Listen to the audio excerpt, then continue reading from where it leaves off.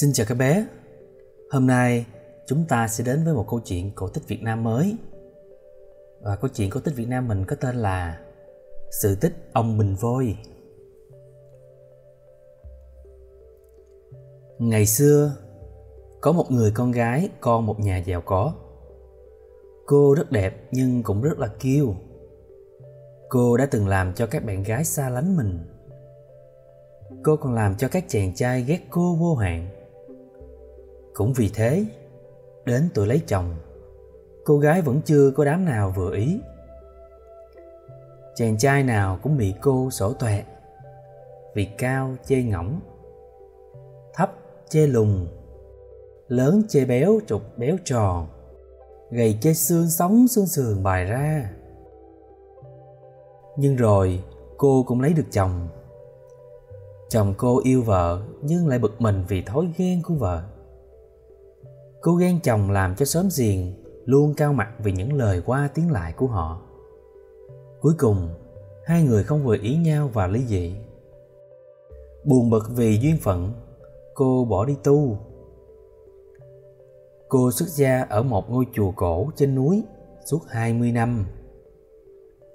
Những con chim, con thú rừng hầu như quen thuộc bóng dáng của người sư nữ. 20 năm qua, cô vẫn chưa đắc đạo Cô thắc mắc. Vì tự cho mình thông kinh kệ hơn người, Và cũng chịu đủ mọi sự khổ hạnh của nhà chiền Một ngày kia, Cô quyết định sang Tây Trúc một phen Để tìm cho ra lẽ. Đường sang Tây Trúc thiên nguy vạn hiểm, Nhưng cô vẫn quyết đi cho bằng được. Một hôm, Sau khi vượt qua một trái núi, Sư nữ tìm vào một ngôi nhà hẻo lánh dọc đường để nghỉ chân. Hai mẹ con chủ nhân tuy người rừng núi quê mùa nhưng vốn là kẻ ăn chay niệm Phật. Nên thấy khách là nhà tu hành thì tiếp đại rất hậu. Khi được nghe kể công trình tu luyện của sư nữ, họ càng cung kính hơn, coi như là bậc thầy. Và khi biết rõ ý định của sư nữ thì họ cũng xin phép bỏ nhà, bỏ cửa đi theo thầy để mong được đắc đạo. Nghe họ cầu khẩn, Sư nữ mới cười. Hai mẹ con nhà này có muốn thành vật ư? Được, Cứ đi theo ta.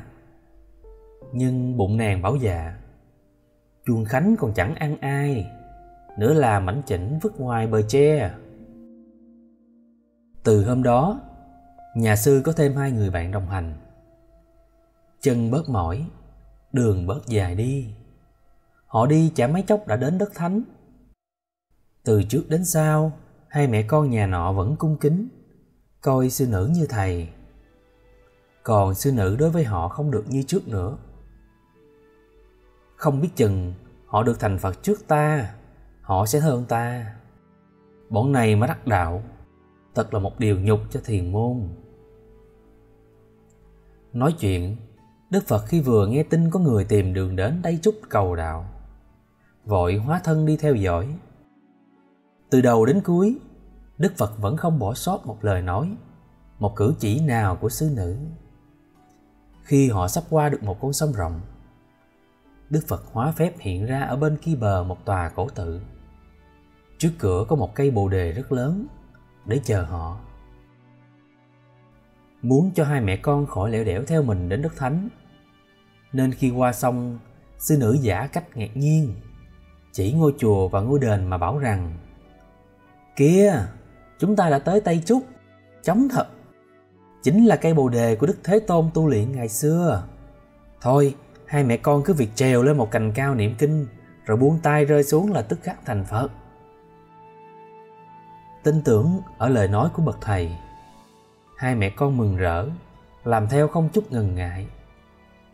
Nhưng khi họ buông tay cho người rơi xuống, thì Đức Phật đã đón họ đưa lên trời có bốn vị la hán mang tòa sen đến rước đi.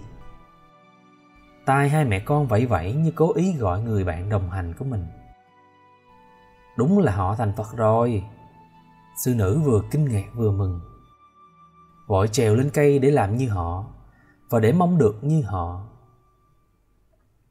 Nhưng đức phật đã có ý trừng phạt người đàn bà kiêu ngạo và độc ác ấy một cách đích đáng nên đã để cho cái xác rơi phịch xuống đất, tan xương vỡ sọ. Và sau đó Đức Phật lại bắt con người khốn nạn ấy hóa thành bình voi. Tại sao lại cho hóa thành bình voi ư? Có người bảo chính là Đức Phật muốn bắt những kẻ trong lòng bất nhân, nhưng lại đeo bộ dạng từ bi. Phải để cho người đời luôn luôn móc ruột. Câu chuyện của chúng ta đến đây đã hết rồi. Tuy nhiên, sự tích về ông Bình Voi cũng qua một lời kể khác nữa. Các bé cùng lắng nghe nhé. Ngày xưa, có một anh ăn trộm từng sống bao nhiêu năm với nghề. Hắn ta không vợ con gia sản, chỉ độc có một túp lều bên cạnh đường cái. Một hôm, có cặp vợ chồng người ăn mài qua đó xin chú chân. Hắn cho họ ở lại và sau đó hắn thấy chồng bảo vợ. Hôm nay không xin được tí gì cả. Gần đây có một nương khoai. Chờ đến tối tôi sẽ đào trộm về ăn. Vợ can chồng. Thôi đi ông, chỉ vì kiếp trước chúng ta ăn ở thức đức nên mới như thế này. Có lẽ nào phạm thêm vào cho nặng tội kiếp sau? Tôi thà chết chứ không ăn trộm. Người ăn trộm nghe chuyện bỗng dưng hối hận. Cuối cùng, hắn giao tất cả nhà cửa cho hai vợ chồng ăn mài rồi bỏ đi. Hắn tìm đến một ngôi chùa trên núi cao xin hòa thượng cho cạo đầu tu hành. Người ta giao cho hắn công việc nấu ăn. Một bữa phải nấu từ tinh xương và một bữa từ chiều. Phận sự của hắn là giữ lửa không được để tắt. Vì một lần tắt lửa thì lại phải xuống núi xin về, cách xa hàng bao nhiêu dặm. Từ lúc nhận việc nhà chùa, hắn tỏ ra chu đáo lạ thường. Chưa có bữa nào để lửa tắt. Một sư bác bên chùa ghét chú Tiểu mới, bàn chờ một hôm chú Tiểu ta ngủ say, tưới tắt lửa nhắm vào bếp.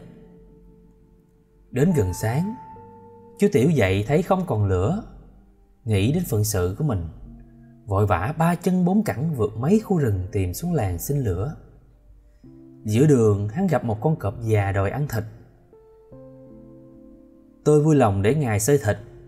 Hắn nói, nhưng hãy cho tôi chạy xuống làng xin lửa cho nhà chùa, rồi tôi sẽ tới nộp mạng. Cọp bằng lòng để cho đi. Khi đưa được lửa về, hắn kể sự tình và xin phép hòa thượng cho mình đi nộp mình cho cọp. Đến nơi, cọp bảo Tao già rồi, răng đã rụng hết mà xương của mày cứng khó nhai. Vậy mày hãy trèo lên cây kia buông mình rơi xuống cho gãy xương. Tao mới ăn được. Hắn vâng lời cọp. Nhưng khi buông tay thì Đức Phật đã đón sẵn rước lên trời, độ cho thành Phật. Tức là Phật nhiên đăng.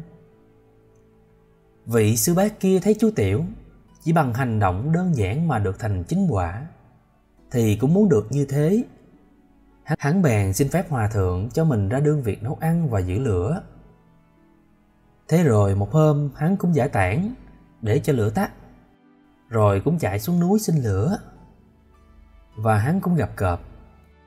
Hắn cũng khất cọp xin đưa lửa về cho nhà chùa, rồi sau đó sẽ xin nộp mình. Nhưng Đức Phật vốn hiểu rõ những việc làm của hắn xuất phát từ tấm lòng không thật. Nên khi hắn trèo lên cây và buông tay, thì Phật lập tức bắt hắn hóa thành bình vôi. Câu chuyện của chúng ta đến đây đã kết thúc rồi. Chúc các bé ngoan ngoãn vâng lời cha mẹ nhé.